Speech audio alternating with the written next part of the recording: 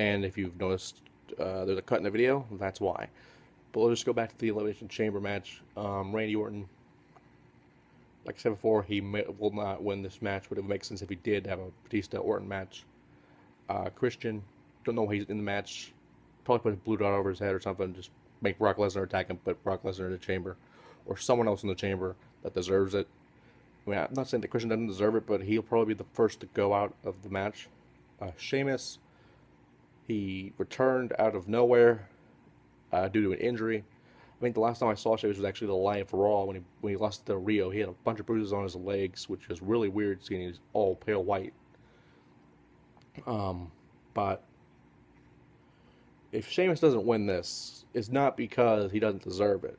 It's just because you know there's other bigger people in the match than him, which is kind of shocking. How much they pushed him over the years. It's probably a given that Cena would win and face Batista for a WrestleMania rematch, but uh, I would rather have him face Bray Wyatt, so I don't think he'll win. Uh, Cesaro, like I said, is a dark horse to win this match, and I hope he does.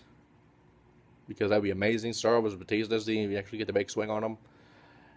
And Daniel Bryan. Um, I still don't remember why he's in the match. I honestly don't, but uh, it's about time he wins the belt and actually holds it for more than a day. Actually holds the belt, uh, you know, for a lengthy time. But if he does win, he'd probably get jobbed by Batista. I think Batista's only here to get a world title out of it. That's probably one of the things in his contract that he came to the WWE for. I mean, you know, you're not going to get a big star or not just let them job to your big new stars, um, unless you're Brock Lesnar to Cena. But uh, yeah, and apparently there was supposed to be one more match.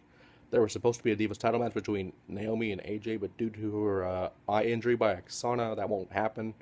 So if there's a Diva match, it might be filler, and we won't even know what's going to happen with that. But we'll find out tonight at Elimination Chamber because on as soon as this is uploaded, it'll probably be four hours away. So we'll just see what happens here. Elimination Chamber.